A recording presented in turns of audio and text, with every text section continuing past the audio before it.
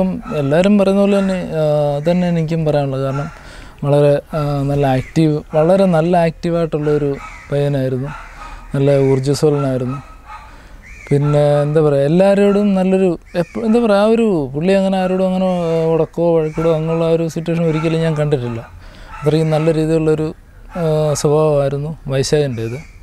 പിന്നെ ഞങ്ങളും താമസിക്കുന്നതും തൊട്ട് അടുത്തടുത്തുള്ള റൂമുകളിലായിരുന്നു. അപ്പോൾ അതുകൊണ്ട് പുള്ളി എനിക്ക് പേഴ്സണലി പുള്ളിയായിട്ട് ഒരു വളരെ ശരിക്കും നല്ലൊരു അടുപ്പം ഞങ്ങൾ തമ്മിൽ ഉണ്ടായിരുന്നു.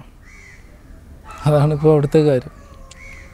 പിന്നെ വരുന്നതിന് മുമ്പും ഇതുപോലെ ഈ ഡ്യൂട്ടിക്ക് പോകുന്നതിന് മുമ്പും ഞങ്ങൾ കാണാറുണ്ടായിരുന്നു. കാരണം എപ്പോഴും ഫ്രീ ടൈം ആയാലും നമ്മുടെ അടുത്ത് വരികയും നമ്മളുടെ കാര്യങ്ങൾ ഷെയർ ചെയ്യുകയും ഇരിക്കുകയും ഞങ്ങൾ ചായ കുടിക്കുകയും ഒക്കെ ചെയ്യുമായിരുന്നു.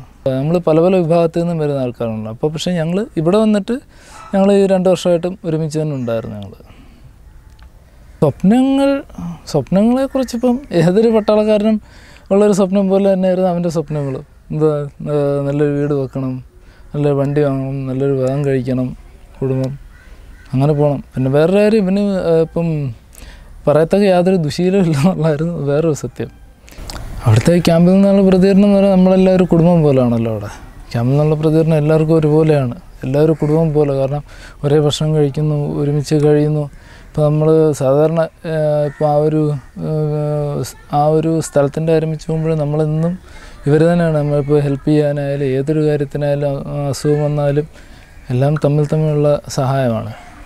അപ്പോൾ അതുകൊണ്ട് എല്ലാവർക്കും ഒരു ശരിക്കും ഒരു തീര തീരാ നഷ്ടമാണ്. നമ്മളൊരു ശരിക്കും നമ്മുടെ ഒരു സഹോദരനെ നഷ്ടപ്പെട്ടു എന്ന് പറയാൻ എന്ന് പറയുന്ന ശരി അതിന്റെ ശരിക്കും ഒരു വാസ്തവം. പിന്നെ പ്രത്യേകിച്ച് പറയേണ്ടതെന്ന് പറയാൻ നമ്മൾ ഇവിടെ കേരളത്തിൽ വന്നപ്പോൾ മുതൽ നമ്മുടെ കൊല്ലത്തെ സൈനിക കൂട്ടായ്മ എക്സർവീസ്മെന്റെയും പിന്നെ സർവീസ് മെമ്പേഴ്സിന്റെ ഒരു സൈനിക കൂട്ടായ്മയുണ്ട് Q M S Kollam Mallu soldiers എന്ന് പറഞ്ഞിട്ട്. അപ്പോൾ അവരുടെ അവരുടെ സഹകരണവും അവരുടെ ആ ഒരു സർവീസ് എന്ന് പറയാനുണ്ടല്ലോ. ഒരിക്കലും എന്താ പറയുക മറക്കാനും പറ്റത്തില്ല പറയാതിരിക്കാനും പറ്റത്തില്ല. അതുപോലുള്ളൊരു സഹകരണവും സർവീസുമായിരുന്നു ക്യു എം എസിന്റെ കാരണം അന്ന് വൈശാഖനെ കൊണ്ടുവന്നപ്പോൾ മുതൽ തന്നെ അവർ എല്ലാ കാര്യങ്ങളും ഇപ്പോൾ ഒരു സ്വന്തം വീട്ടിലെ നിന്ന് അതിലെ ഓരോ മെമ്പറും സ്വന്തം ഒരു വീട്ടിലെ നിന്ന് പോലെ തന്നെ അവർ ഏറ്റെടുത്ത് കാര്യങ്ങൾ ചെയ്യുമായിരുന്നു. ഇവിടെ വീട്ടിലെത്തി ചടങ്ങുകൾ കഴിയുന്നത് വരെ. അത് തീർച്ചയായിട്ടും ഒരു ഒരിക്കലും ഒരു കാലത്ത് മറക്കാൻ പറ്റാത്ത ഒരു ഒരു അനുഭവമാണ് Kollam Q M S Q M എസിൽ നിന്ന് കിട്ടിയത്.